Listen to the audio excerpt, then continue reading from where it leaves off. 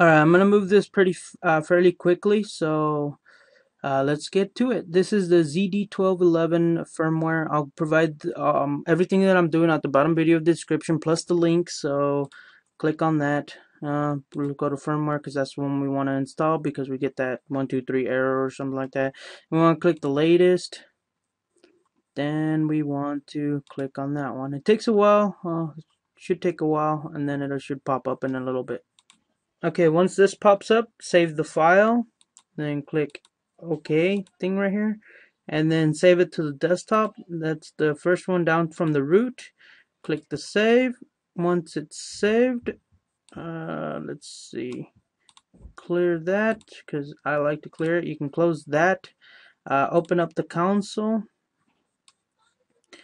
Okay, I'm already in root, but if you're not in root, use the sudo or the gksu commands in front. So we want to get to the desktop. We're not in desktop, so let's get into the desktop. By the desktop, let's use the cd command and then type in desktop. It has to be correctly. Once we type it in, we can see the file, this file right here. We can see that it's downloaded right here. Once it's downloaded, let's extract it. Oops. I forget that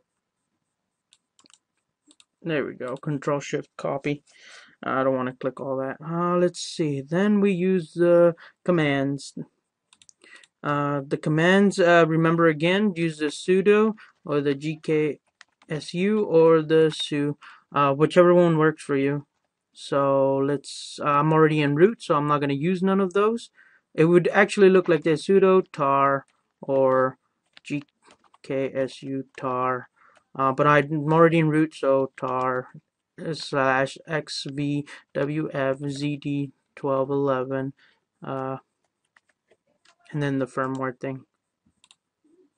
There you go. Then click the letter Y on your keyboard to copy it over. I'm pretty sure there's a faster way, but eh, there's not very many of them. Okay, once you have it all copied over, the new folder will appear on your desktop called the firmware. This one right here will appear. Once it has appeared, we want to see if the if the folder is already in the in the um, lib firmware files. So let's go see. So root, no, no, no, cd uh, lib firmware, and then ls. If you don't have it, you can uh, recreate it by typing in the using the uh, make the uh, directory command. So it's already there on my end. If you don't have it, if you don't have this folder, that folder, if you don't have that, then you're gonna make it dir. Remember using the sudo, uh, sudo and the or or gksu or the su commands in front of the mkdir, that's to make directory, zd1211. In case you're not in the root command. I'm in the root command, I already have the file, so I don't have to make that um, command. So we want to go back to, to the desktop where we were, and we want to work in that folder. So let's go back. cd uh, root, oops, capital D, desktop, because case sensitive here. And then ls, and then as you can see, the folder is right there that the one that we just created from extracting. Once we're in there we have to go into the desktop um, I'm into the folder that we created.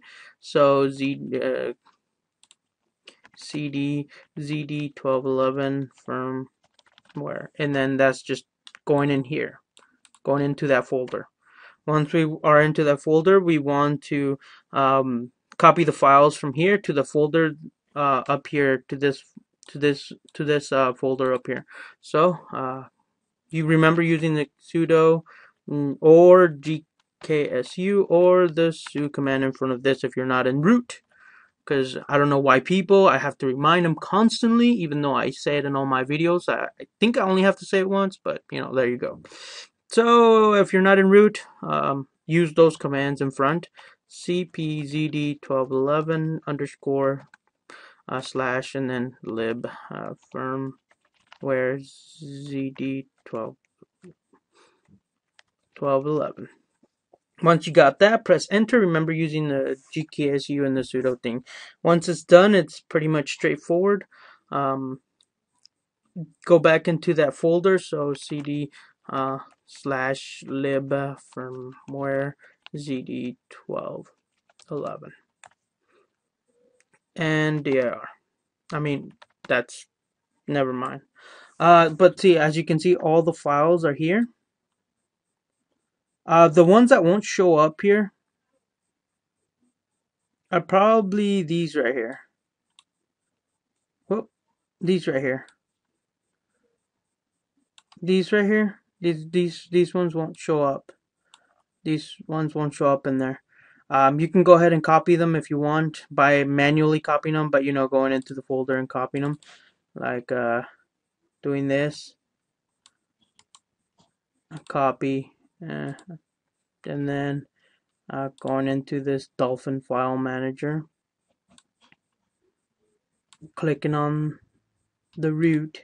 I think it's the root. Uh, yeah, and then lib. Where's lib? There's lib, and then firmware. Where's firmware? There's firmware, and then ZD11. There's a ZD11, and then control paste